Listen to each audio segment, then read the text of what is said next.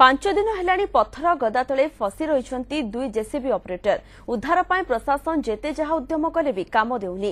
ODRAF ଅଗ୍ନିଶମ ଓ NDRF team ହାତ ଟେକି ଦେଇଛନ୍ତି।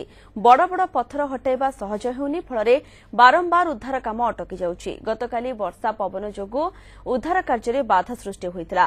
ଆଜି ପୁଣି ଥରେ ଉଦ୍ଧାର କାର୍ଯ୍ୟ ଚାଲିବ। ପାହାଡ଼ର କେଉଁ ନିର୍ଦ୍ଦିଷ୍ଟ ସ୍ଥାନରେ ଦୁଇ ଶ୍ରମିକ ଚାପି ହୋଇ ରହିଛନ୍ତି ତାହା ଠାବ କରିବା ପାଇଁ ଆଧୁନିକ ଜ୍ଞାନକୌଶଳର ବ୍ୟବହାର କରୁଛି ଏନ୍ଡିଆର୍ଏଫ୍।